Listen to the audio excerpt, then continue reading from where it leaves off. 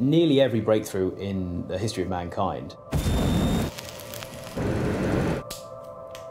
could all have been in danger of looking ridiculous before they were achieved. Even the first motor car was considered a joke. That's the nature of creation.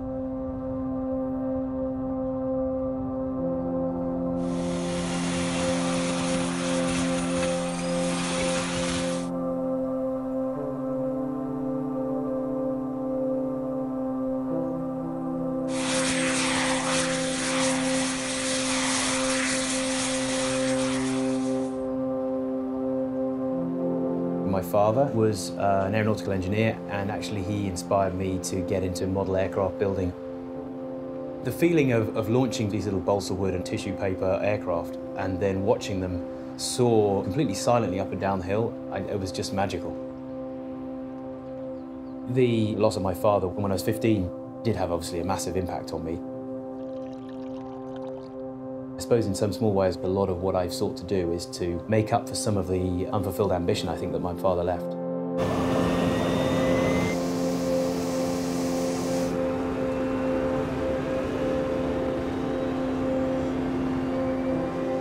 I would say the experience of my childhood probably pushed me down a route of wanting to create a safe, secure family environment before I unleashed the maverick innovator in me, because I know that that pathway is more about failure than it is success.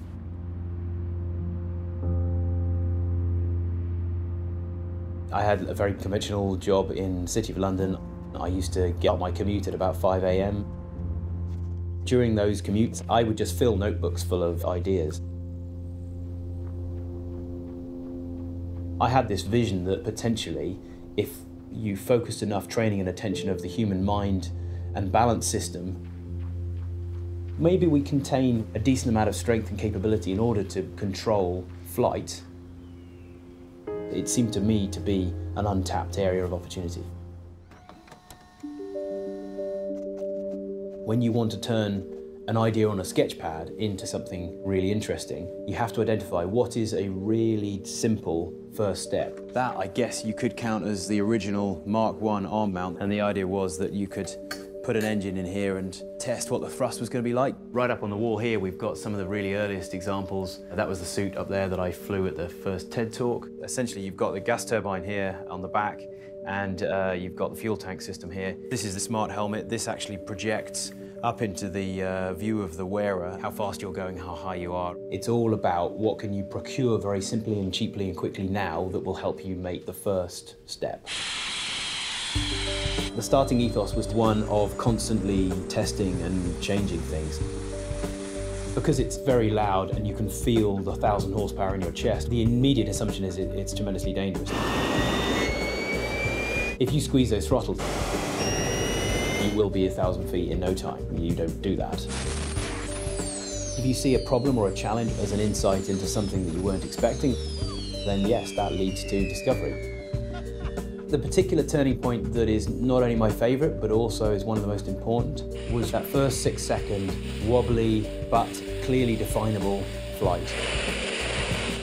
Nice! That was it. I think a large part of that expression on my face was actually joyous, landing it well and proving that we could actually do this. And I, and I kind of, it dawned on me at that moment that, that if we can do that, we can go for a lot longer and a lot higher, a lot further.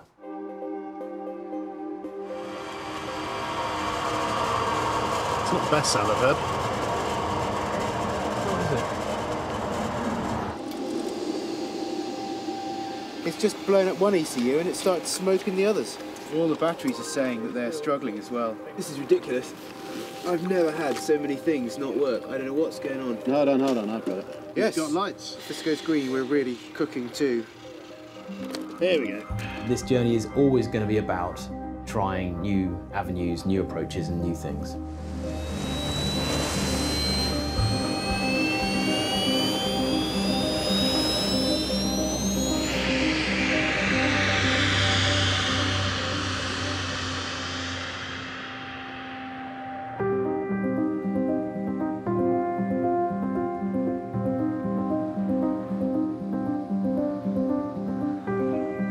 Quite a strange experience. Despite the thundering power and, and kind of chaos around you, it is almost peaceful.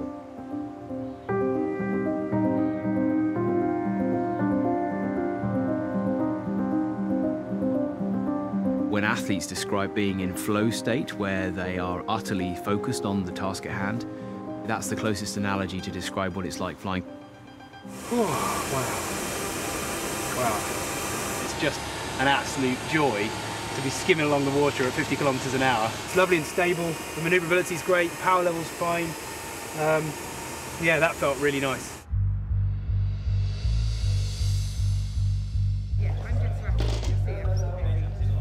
I think now is just the right time to go and put it all together. We're embarking on a whole program of taking the suit to a variety of different locations and scenarios. Beyond what we've done already, to keep the same spirit of learning from problems that will no doubt occur. And it'll be fascinating to see how it performs and what evolutions and what innovations come out of that experience. You're ready to go, yeah?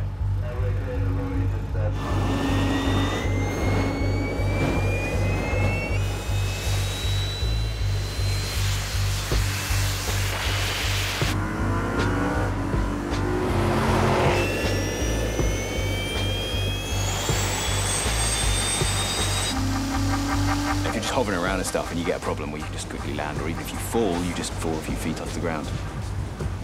But hammering along at 35, 40 miles an hour along a runway behind a car, that's, um, yeah, that's a bit more committing.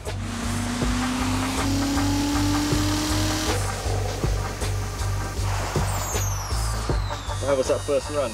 Yeah, good. Running at speed over concrete like that is, you've got to be mindful if you get a failure, that's going to be akin to a nasty motorbike crash. So we tend to not do too much of that.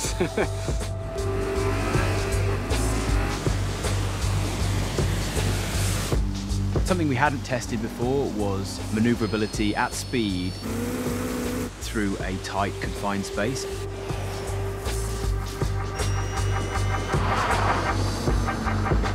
Flying down that tree-lined avenue provided a really good test to prove that we could actually navigate such a tight, complex course. That was really useful.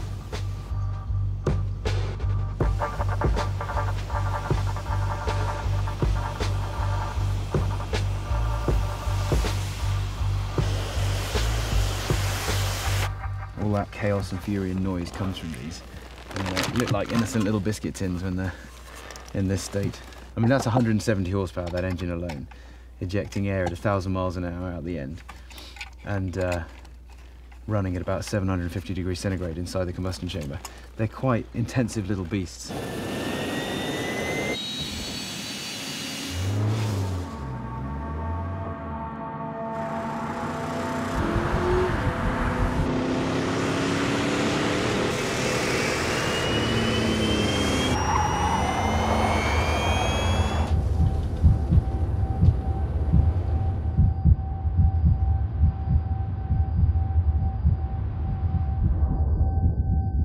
Year ago, I genuinely would never have imagined we would have got to quite this level of maneuverability and control. I'm not resting here. I think this is only the beginning of the journey.